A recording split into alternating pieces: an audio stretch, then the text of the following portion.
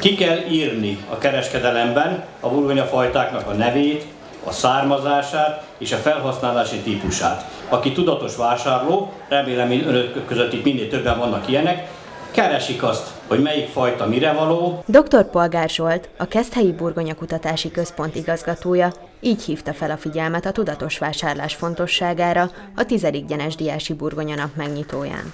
Sokan csupán szín alapján vásárolnak krumplit, azonban keményítő tartalma, így felhasználási célja az igazán lényeges szempont. A rendezvényen természetesen nem csak az ismeretszerzésre volt lehetőség, hanem ízletes ételek kóstolására is. Nagyon értékes, hogy a többlet, hogy a közösségek megkeresik ilyenkor a településünket. Most is közel egy tucat főzőcsapat jelentkezett. Három megyéből, Vas megyéből, Zala és Somogy megyéből vannak főzőink, és valahonnan még a települést a polgármestere is elkísérte. Kiváló burgonyás ételek vannak, és természetesen ilyenkor bemutatkoznak a burgonyafajták, hogy milyen módon lehet belőlük főzni, sütni, és természetesen savanyúságot készíteni. A résztvevők körében a nagyrécsei főzőcsapat Zalai Dödörléje nagy sikert aratott. A csapat emellett még számos étellel készült a vendégek örömére, például savanyú burgonyalevessel, de egy burgonyából készült édességet is kínáltak. Mi nem a versenykedvéért jöttünk, mi ide mindig jó szívvel jövünk vissza, itt szívesen láttak minket. Hát a jól érezzük magunkat, jól érezzék azok az emberek magukat, akik lejönnek ide, és kóstolnak egy kis gasztronómiai finomságokat.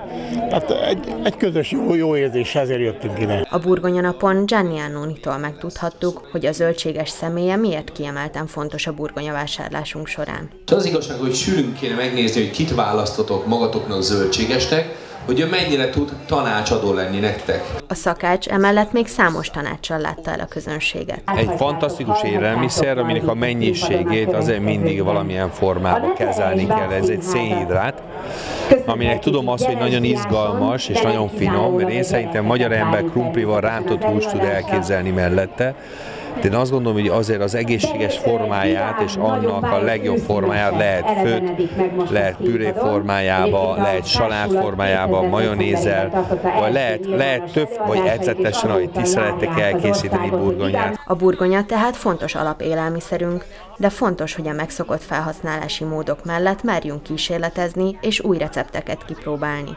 Lényeges, hogy minden ételhez az adott elkészítési módhoz megfelelő burgonyafajtát válasszunk.